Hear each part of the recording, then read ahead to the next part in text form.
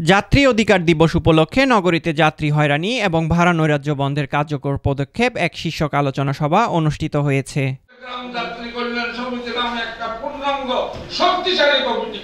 শনিবার সকালে নগরীর প্রেস ক্লাবে বাংলাদেশ যাত্রী কল্যাণ সমিতি চট্টগ্রাম মহানগর শাখার উদ্যোগে আয়োজিত আলোচনা সভায় উঠে আসে লকডাউন পরবর্তী ভাড়া নৈরাজ্য ও যাত্রী হয়রানির বিষয়টি।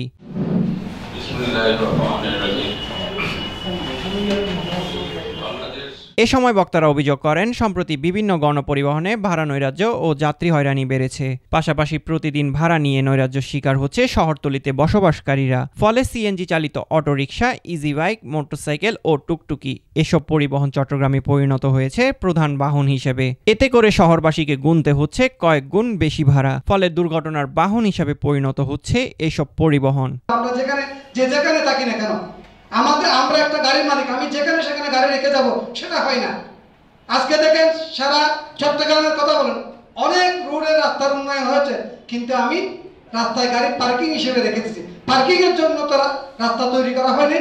বৈশ্বিক মহামারীর কারণে বাংলাদেশের লকডাউন শুরু হয়েছে। বেশ কয়েক দফা লকডাউন হলো। লকডাউন পরবর্তীতে আমরা দেখলাম সরকারের একটা নির্দেশনা ছিল। লকডাউনে আপনি অর্ধেক যাত্রী বহন করবেন, সেই শর্তে বাড়া বাড়ানো হয়েছে। আপনি অর্ধেক যাত্রী বহন করবেন সে কারণে আপনি ডাবল ভাড়া নেবেন। এ সময় আলোচনা সভায় উপস্থিত ছিলেন চট্টগ্রাম সিটি কর্পোরেশনের সাবেক প্রশাসক খুরশেদ আলম সুজন। এ সময় তিনি ভাড়া নৈরাজ্য ও যাত্রী হয়রানিতে বিআরটিআইকে দায়ী করেন। আজকে সকলকে আমাদেরকে সোচ্চার হতে হবে। বাস স্ট্যান্ড যতদিন পর্যন্ত পরিকল্পিত বাস এবং ট্রাক স্ট্যান্ড না হবে ততদিন এই সড়ক নৈরাজ্য বন্ধ হবে। আর আমি মনে করি ভাড়া নৈরাজ্য বলেন এই বলেন সবার মূলে হচ্ছে বিএফটি।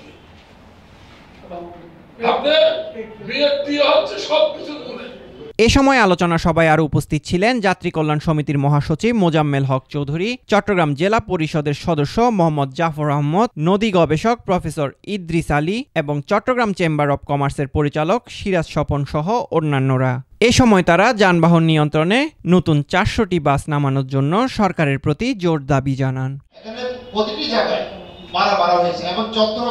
সৌমিত্র কর্মকার চট্টলা চট্টগ্রাম।